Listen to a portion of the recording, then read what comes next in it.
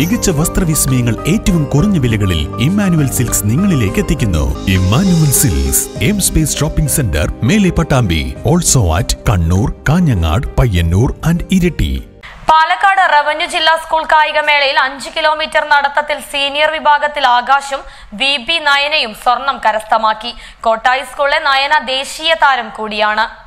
Palakkad revenue ജില്ലാ school കായികമേളയിൽ രണ്ടാം ദിനത്തിൽ സീനിയർ ആൺകുട്ടികളുടെ അഞ്ച് കിലോമീറ്റർ നടത്ത മത്സരത്തോടെയാണ് ട്രാക്ക് ഉണർന്നത് തുടർന്ന് സീനിയർ പെൺകുട്ടികളുടെ മൂന്ന് കിലോമീറ്റർ നടത്ത മത്സരവും ജൂനിയർ ആൺകുട്ടികളുടെ അഞ്ച് കിലോമീറ്റർ നടത്തവും തുടർന്ന് ജൂനിയർ ഗേൾസ് വിഭാഗം പെൺകുട്ടികളുടെ മൂന്ന് കിലോമീറ്റർ നടത്തവും നടന്നു.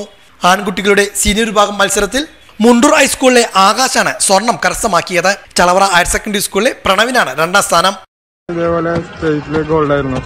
ജില്ലയിൽ സെക്കൻഡ് ആയിരുന്നു പക്ഷെ. ഇത് മുണ്ടൂരിലാണ് പഠിക്കുന്നു അവിടെ തന്നെ നാലഞ്ച് വർഷം വർക്കൗട്ട് ചെയ്യാൻ തുടങ്ങിയിട്ട്. സീനിയർ വിഭാഗം പെൺകുട്ടികളുടെ മൂന്ന് കിലോമീറ്റർ നടത്തത്തിൽ കോട്ടായി ഗവൺമെന്റ് ഹയർ സെക്കൻഡറി സ്കൂളിലെ വി പി നയന സ്വർണം കരസ്ഥമാക്കി. മുൻപും ജില്ലാ സംസ്ഥാന കായികമേളയിലും നയന പങ്കെടുത്തിട്ടുണ്ട്. സ്വർണവും നേടിയിട്ടുണ്ട്. ദേശീയ താരം കൂടിയാണ് നയന. ഞാൻ ജീസസ് കോട്ടായി സ്കൂളിലാണ് പഠിക്കുന്നത്. പ്ലസ് ടു വിദ്യാർത്ഥിനിയാണ്. നാഷണൽ റേസ് വാക്കറാണ്. സീനിയർ പെൺകുട്ടികളുടെ ഡിസ്കസ് ത്രോയിൽ കാട്ടുകുളം ഹയർ സെക്കൻഡറി സ്കൂളിലെ പി അക്ഷിത കൃഷ്ണ സ്വർണം കരസ്ഥമാക്കി. ഇരുപത്തിയൊന്ന് ദശാംശം ഏഴ് എട്ട് മീറ്ററിലാണ് അക്ഷിത ഡിസ്കസ് ത്രോയിൽ സ്വർണം നേടിയത്. അല്ല ഞാൻ കഴിഞ്ഞ വർഷം പോയിരുന്നു. ഇപ്പൊ ജില്ലക്ക് കിട്ടി. പക്ഷെ ഫസ്റ്റ് മെഡലൊന്നും കിട്ടിയില്ല. ഇപ്പൊ ഇപ്രാവശ്യം ആദ്യമായിട്ട് മെഡൽ കിട്ടുന്നത്.